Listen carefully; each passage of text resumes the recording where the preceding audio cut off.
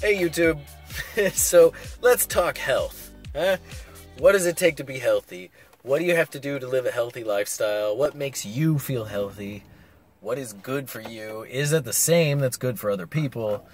And uh, yeah, just kind of a general check-in of who I am, what I like to do, and maybe you do things similarly. Let's let's connect you and I over a meal.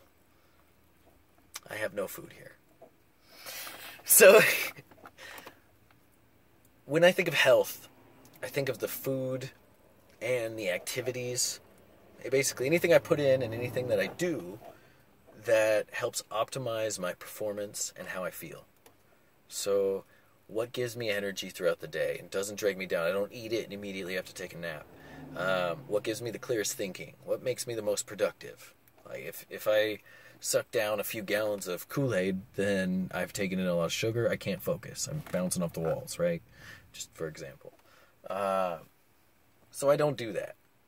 When it comes to diet, I eat more animal products than you do. it's uh, it's not quite a carnivore diet, and it's not always keto. It's just mostly animal based because I found that that is what works best for me. Um, I prefer to buy organic.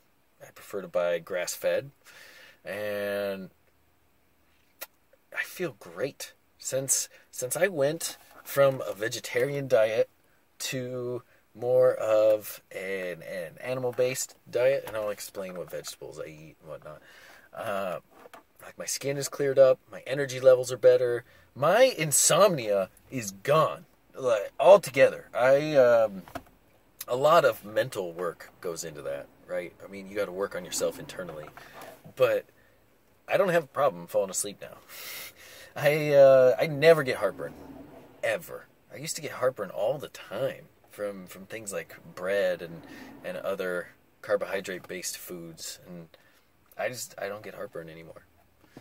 For dessert, I like whole milk because it's I consider that a high carb food. Whole milk. Um, I think my favorite food right now. Ooh, that's tough. Something like rack of lamb. I love ribs. I have some pork ribs at home, and I'm well under my calories today after eating very big meals.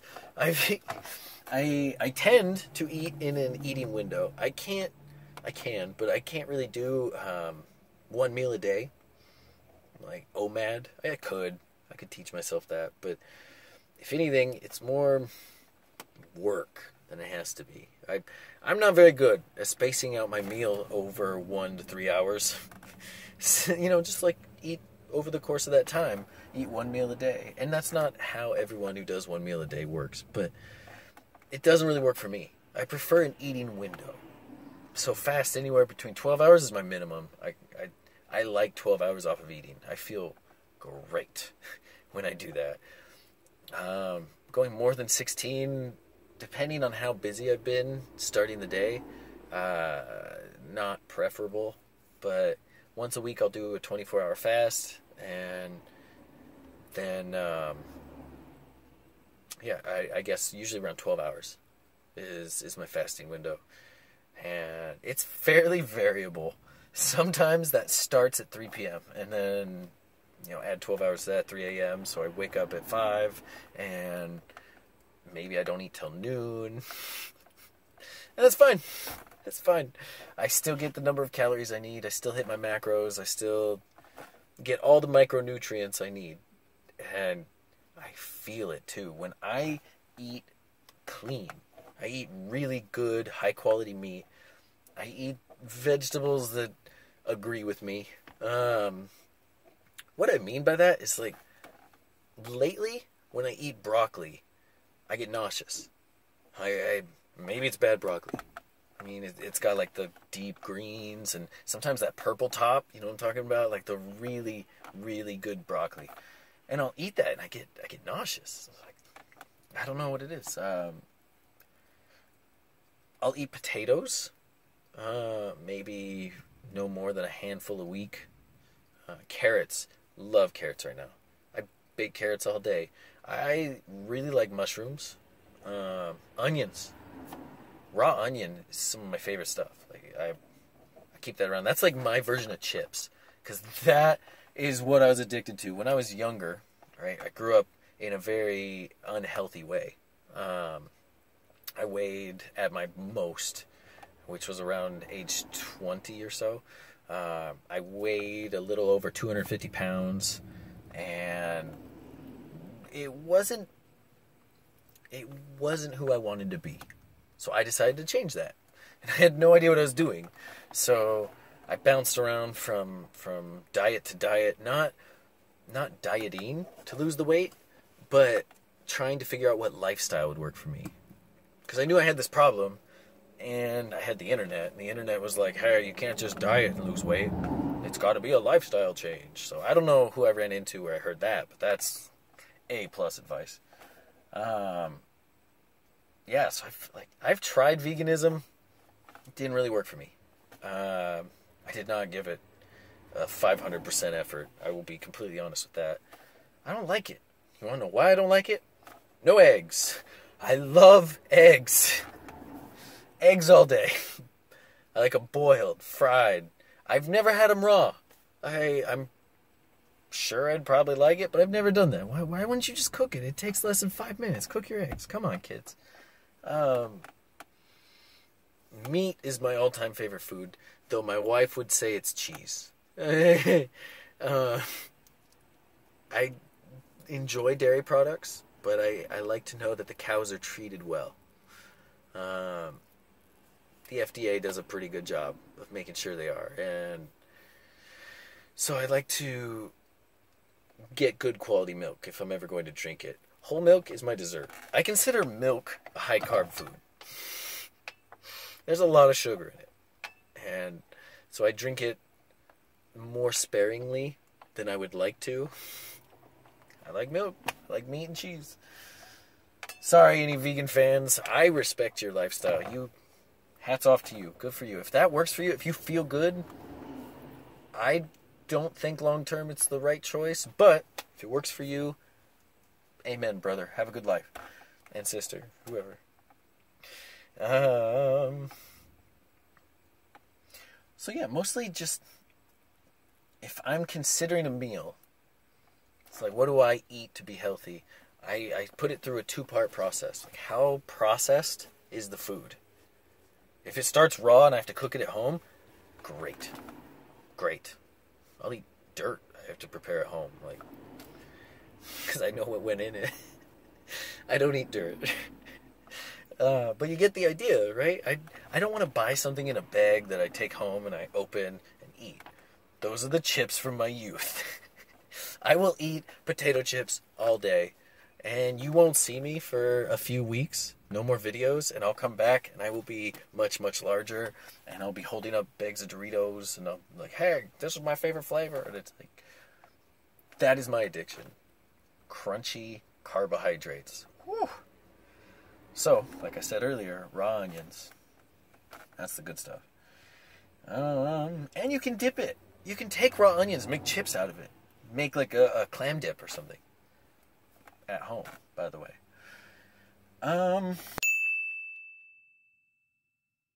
food. Did I mention broccoli sprouts? Love broccoli sprouts. Eat broccoli sprouts all day. Love that stuff. Especially since I heard of uh, Dr. Rhonda Patrick's research with um, with mice, and there's certain chemicals, chemicals, like that's that's there's certain parts of broccoli that help with uh, anti-aging processes and it, those those parts of broccoli are strongest in the sprouts. So I'm like, hey, let's uh, let's milk a few years out of these vegetables. Why not eat them? Uh, I don't feel bad when I eat them. I don't get heartburn. I I don't break out. I have to watch alcohol intake. When I, I, I can have a beer with friends, though that gives me heartburn. Ooh. Uh, so I, I prefer liquor. But let's say I have a, a drink with some friends, right? A drink. And then the next night, oh, that was Friday. Now it's Saturday. I'll, have another drink. Like we're we're all at social gathering. I'll have another drink. Sunday I have zits. Two drinks, zits. I just break out. So it's similar to the vegetable issue. When I'm eating lots of vegetables, like bell peppers, oh, so sad. I really like bell peppers. And I eat them, and my skin gets really dry. It starts to break out. It's like, what is this? What? What? Uh, I can eat cauliflower. Cauliflower is really good. Uh, my wife makes amazing dishes with it. Uh, we've we've experimented with different uh, keto recipes with cauliflower, making crusts and breads and pastas and all kinds of stuff. And uh, zucchini, same idea, right? You you make zoodles. We have a zoodle maker. Oh, fancy. So yeah, that's basically it. Um, to lose weight, I uh, right now I'm trying to excuse me. I'm trying to trim down a bit for the wedding because I'm carrying a little extra on me, and I I just eat in a calorie deficit. Stick to that. Make sure things are processed and and as organic as possible, and are unprocessed. Did I say unprocessed? I'm sorry. I'm like I need a nap. Um, so I make sure things are as unprocessed as possible. I make sure they're organic where I can, and um, yeah, just clean and unprocessed. That's the rule of thumb, and I stay under. Usually, it's around 2,000 calories if uh, if I'm exercising that day, and we'll come to that in a second. But um, on a day I'm not exercising, let's say I stand at my desk all day, standing, mind you. I don't like sitting. Sitting, like right now, I'm very uncomfortable sitting, and I've only sat for uh, the timer says uh, with the drive about 45 minutes. I, just, I don't know. Sitting is not for me. Um, I like to eat around 1,500 calories on those days that I'm less active. And that way I'm in a caloric deficit. Uh, for those days that I eat 2,000 calories or less, um, and keep in mind, no matter how many calories I eat, if I'm uncertain about proportions or or if I'm logging the right kind of food, because I, I keep track, how are you gonna lose weight and and resculpt your body if you're not keeping track of what you're putting in, what you're putting out. It's a numbers game. Just pay attention. It, it takes 10 minutes out of your day. Come on. If you have a goal, set the goal, keep track of your progress, you'll reach the goal. It's not rocket appliances. So, uh, all arrogance aside, um, to keep track of days that I'm uncertain, I I multiply my calorie intake by roughly 1.3. So I've logged everything, and then just pull up your calculator 1.3 times what I've logged. Then you have a, a more accurate picture of, most likely, of what you've been eating. Um, this is not medical advice, right? Don't copy me. I, I just torture myself sometimes, I guess. Um, I find it works. I'm not hungry because what I'm eating is very satisfying and very nutritious. I I feel great, and it keeps me from binging too much. Sometimes we eat too much, and we're not very good at keeping track of what we eat. If you're just eyeballing everything, you're probably underestimating. Do the 1.3. Um, exercise. So, exercise has saved my life. Exercise is my saving grace. All insecurity, all anxiety, all depression, all negative thinking patterns, anything emotional or mental, exercise fixes. It's it's so weird. It's like a form of meditation to improve the body, to work out all of that energy through the body. And so for me, exercise is something that, that will not leave my life ever. I'm going to exercise until I die. I'm going to find a way, like if I'm bedridden or something. And that happened about a year ago. Um, I don't know, about eight months ago, excuse me. I went into surgery for two hernias and got those fixed, got those patched up. And before that, I took a lot of time off from working out and I should say working out in a gym. because I could go run during that time, but it's a little harder to sprint. You don't you don't feel so good when little bits of your guts are coming out. Like you don't want to sprint too much. You get I don't know. That's I don't know. Something about it makes me feel really uncomfortable. Made me feel really uncomfortable. So I just did jogging and body weight exercises in my apartment. And so it was really like taking 6 to 8 months off of the gym. So coming back after surgery in August, uh, surgery was in June, and then in August I started working out again. Um, it was like resetting the clock on working out but now I have the experience. Um, my form can always would use work, but but I've got the the form experience there, so I know what I'm doing at least somewhat. And a trainer has helped with that recently. Oh my gosh! I talked to a trainer, and my squat went from B plus to A. A. It was like the weight on my back became a cloud after he helped me. It, it, I'd been doing it wrong for so long, so uh, go get a trainer. Even if it's just for like an hour session and they critique your form on a few lifts and until you get that down, it it changed the way I lift. That was back in uh, November, a few months after starting lifting weights again. Um, so for any emotional and mental work that needs to be done, I highly, highly recommend resistance training, but do it right. Go go get some training for your training. Um, running is like the same thing. Running is another de stressor. Running is amazing for your health. Uh, if you do it right, if you're landing wrong on your feet, you're sending a lot of stress into your joints. With every step, you're, you're destroying your ankles, knees, hips, your spine in some cases. You've you've got to know how to run properly. Uh, no advice there. I don't know. Are there trainers for running? I do you watch YouTube videos? Do you just like crash test it, go out and run, and no idea. No idea. If you're worried about that, or if running's not for you, check out swimming. Maybe you don't like it because you can't like breathe while you're doing cardio. That's me. I, that's exactly why I don't like swimming. I'm good at swimming. I like it, but I don't like doing it for cardio. Uh, then try backstroke.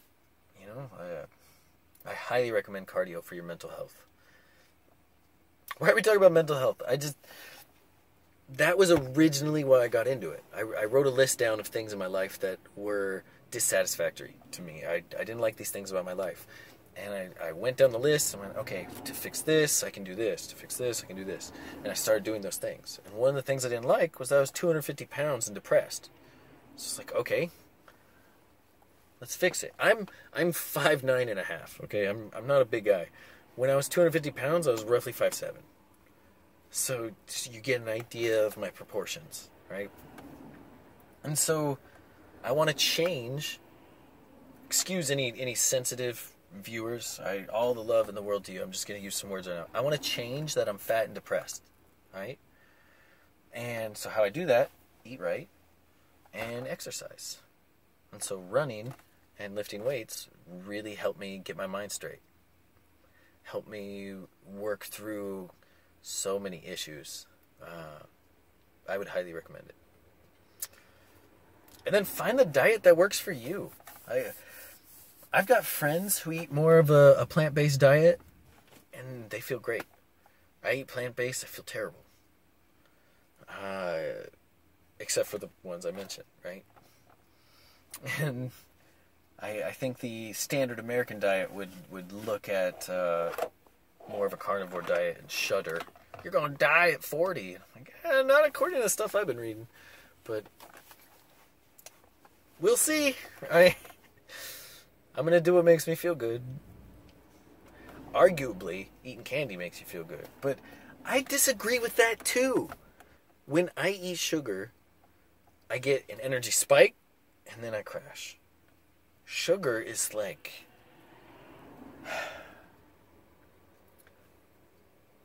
anathema to myself. It, it's poison. Let's you know, let's use a word that normal people use, Luke. Uh, sugar is poison to me. I like honey. Honey can be good. Um, I put some maple syrup on some ribs I made the other day and then baked them, kind of like a marinade, like a maple syrup marinade. But it was like a tablespoon. I mean, I just can't do sugar. I don't know.